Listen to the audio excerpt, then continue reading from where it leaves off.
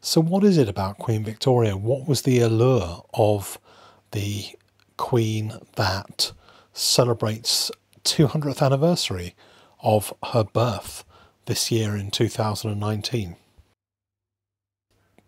If it hadn't been for the popularity of her uncle William IV, the Sailor King, then uh, I guess we might have been um, a republic rather than a monarchy through Queen Victoria's age. From a coin collecting perspective, Victoria is perennially popular. She was long enough ago to be shrouded in mystery and history. And uh, she was recent enough to uh, still have quite a few of her coins, particularly in the later years of her reign, still available at reasonable prices. And uh, I want to take a look at some coins that I think represent the very, very best of the Victoria kind of coinage. And I guess if you had to think of two or three things that represented the coinage of Victoria, it would be young head sovereigns, shield back sovereigns, the Gothic period, and maybe, you know, if there was one particular coin that represented the Victorian era, it would probably be the Una and the Lion five pound pattern gold piece.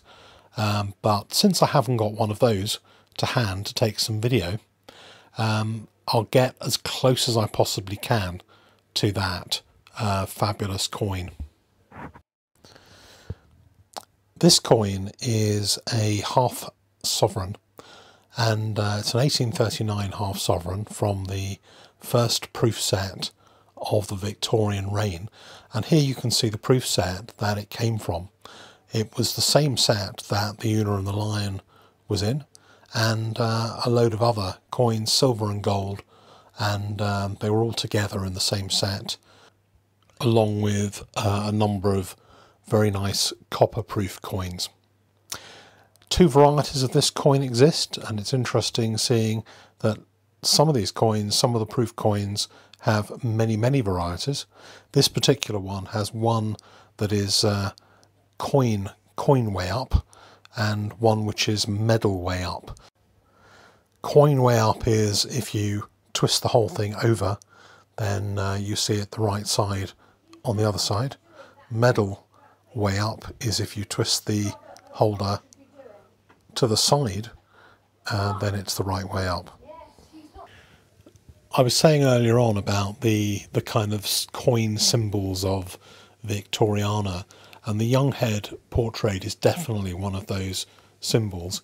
If you look at the young head proofs, for example, there are quite a lot of them that were minted, many more than the um, 1887 or the 1893 proofs, but they are probably twice or even three times the price of the later Victorian proofs because so many people really want the young head as opposed to the Jubilee head or the veiled head portrait. There's just something about young Victoria that um, people seem to really like that captivates people. And uh, I think that is certainly shown in the market where it's actually pretty difficult to get hold of these young head proofs. Uh, you can get hold of them. Um, I've managed to get hold of a couple for my collection, but as you can see here, I haven't been able to necessarily get hold of the best of these coins, uh, which are crazy prices. So uh, I bought the best that I could uh, and uh, I'm quite pleased with what I have, but uh, it possibly isn't quite the same quality um, that I would have liked had I been able to uh, find the the right ones for the money. It's October, it's the Coin Connection, one of the very few dealers to care about quality and modern coins, and the code for this month is Thomas. Yep, it's Thomas. Though the young head portrait was used for a long, long time, uh, and was actually used on different coins up until the time Victoria was um, pretty damn old. There is still something about the earliest of the young head coins um, when she first first came to the throne, and there are kind of I suppose magic years when it comes to collecting these Victorian sovereigns. 1838 is a magic year. 1839 there were fewer coins, um, but it wasn't the first year. But 1839 is a really, really desirable year for regular coins and also because of the proofs. Uh, and then, of course, 1841, which is the other magic year for um, shieldback sovereigns. And 1841 coins, highly sought after, very, very expensive, very low mintage in that year. The one you're seeing here is uh, another proof. Um, 1839 came from that same set with Una and the Lion, um, the first proof set of Victoria's reign. You can see here both of the coins together. Um, interesting, PCGS have historically put a lot more information on the labels for these kind of coins, although NGC are now going to be catching up and are happy to put uh, WR numbers or PEC numbers or any of the catalogue numbers on their labels as well. And uh, you can see there the, the weight on the coin because a lot of the differentials between different types of 1839 proof are to do with the weight. The last sovereign in this little sovereign collection is 1838 1838 was the first year that these sovereigns were made for circulation.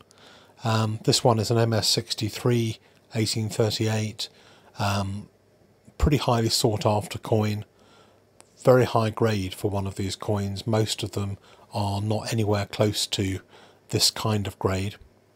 And interestingly, over the last, I suppose, 30 years or so, these coins have probably risen in price from maybe £200 for a good one to five to seven thousand pounds for a good one. Um, and the 1939 coins are even more expensive, and the 1941 coins are even more expensive than that.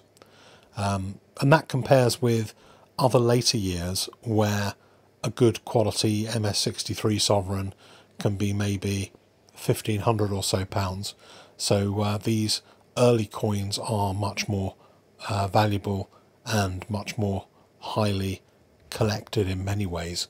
Uh, everybody seems to want to have a 1838 coin for their collection. And you can see here the difference between the proof and the uh, the regular circulation strike. Um, lots of luster on the circulation strike, um, a fair amount of frosting on the proof, but not an ultra cameo proof. So uh, there are quite a lot better examples than that particular coin around the place. So the other kind of example of Victoriana that I think represents Victoria on coins uh, pretty well is Gothic. The Gothic revival, um, as symbolised on these coins from probably the uh, the 1840s, late 1840s, onto the 1880s. Uh, this particular one is a proof of record, so it's a it's a proof coin from 1869. It's a florin, whereas you might more regularly see Gothic um, silver on the crown. There were quite a large number of the 1847 crowns and also some in 1853 um, and you're much more likely to see those than these florins because there were eight and a half thousand odd uh, Gothic crowns, but there are not that many proof high quality florins around. So in a, in a way, a little bit rarer, um, quite a lot rarer actually, but um, people think of the Gothic silver coinage probably as the crown as opposed to the florin quite often. So, what do you guys feel about the Victorian uh, era? Which kind of coins really encapsulate that era for you?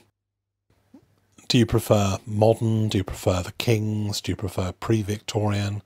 And uh, if you are into Victorian, as I said, what uh, particular Victorian coins uh, do it for you? Let me know and uh, please like and subscribe. And here's a few more videos that you may have missed that uh, you'd like to maybe take a look at or recap if you already watched once. Bye.